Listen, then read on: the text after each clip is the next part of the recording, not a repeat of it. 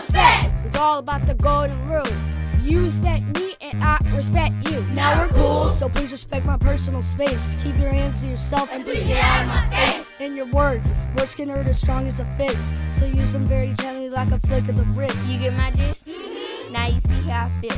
Deep in the game, I got a name And I'm real. So all you bullies, back up, back off, and get before you start an attack. Some people have a reason to do what they do. Maybe you saw it before. Maybe it happened to you. Or maybe it's something in your life that you've seen.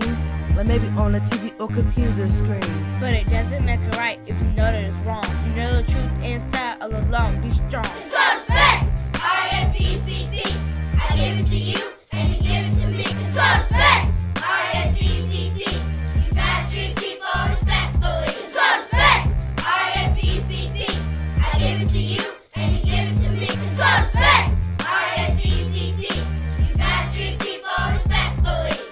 Children, we're building the future, so use the tools that your school has provided to do the work. baby, baby, work. Gotta get the job done. When it's through, then it's time for a whole lot of fun. On the run, eat lunch, then yes, recess. It's the best. All play, no stress.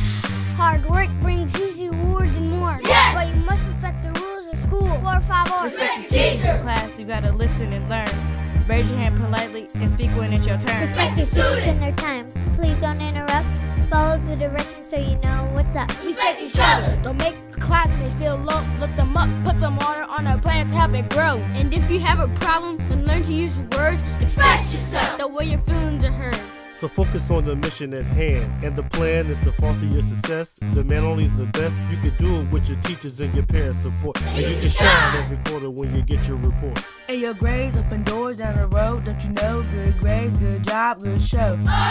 So let me give you lots of smiley faces and check, but only if you understand.